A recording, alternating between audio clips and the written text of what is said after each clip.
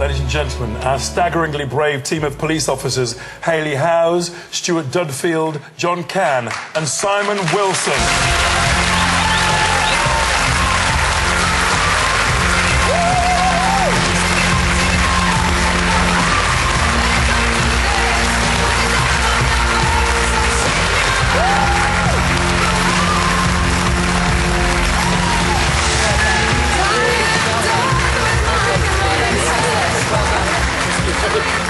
To present the team with their award, please welcome a TV cop who broke all the rules and an Olympic athlete who broke all the records. Ladies and gentlemen, Philip Glenister and Dame Kelly Holmes.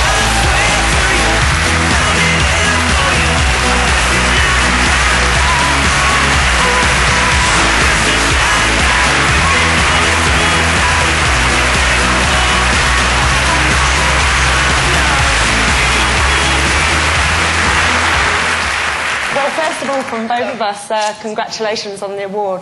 And we were just wondering, how long did this whole episode take? time really wasn't something that you put into it. You get there and you think, and you just deal with it.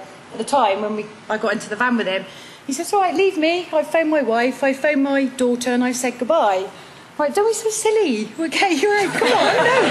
And he said, "No, no. I've said my goodbyes. Thank you very much. Just, just leave me." I went, "No." I said, "Come on, you're a big bloke. I need you to help me get you out of here." Um, and to be fair, I couldn't do it on my own. And if these three guys hadn't have been here, then then I wouldn't wouldn't have been able to have done it. Was there any moment of panic, though? Because I don't think I could have that conversation while... Did you, did you take your seatbelt off?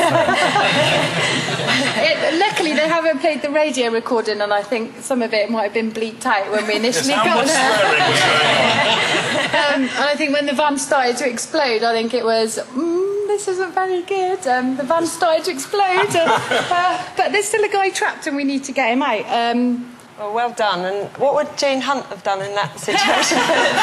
very fair, he, would have, he, he would probably sent Raymondo in. Please show your appreciation to Philip, Kelly, and most of all, police officers Haley Howes, John Cann, Stuart Dudfield, and Simon Wilson.